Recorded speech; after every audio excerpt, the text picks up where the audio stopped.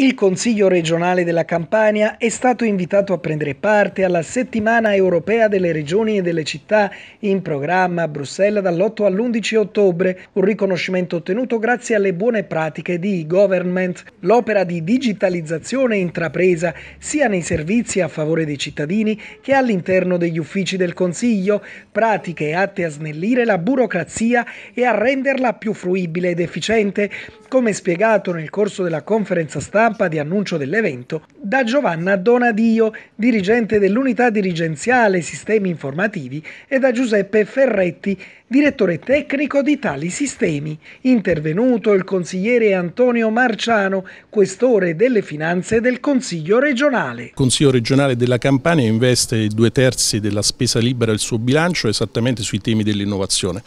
che significa Open Data, che significa Google Cloud, che significa Iterlegis, che significa dematerializzazione di tutto il percorso legislativo, di tutti gli atti, di tutta la parte documentale del Consiglio regionale della Campania, che significa la biblioteca del Cogliano e il suo archivio informatico presente sul nostro sito, che significa il nuovo portale e dunque una maggiore accessibilità all'informazione e all'attività del Consiglio regionale. Dunque per queste pratiche, per queste buone pratiche l'Europa ci riconosce come esperienza e come riferimento nel sud Europa e porteremo queste attività a Bruxelles, ovviamente convinti che sul terreno della e-democracy, dell'e-government, dell'e-governance dovremo fare ancora passi importanti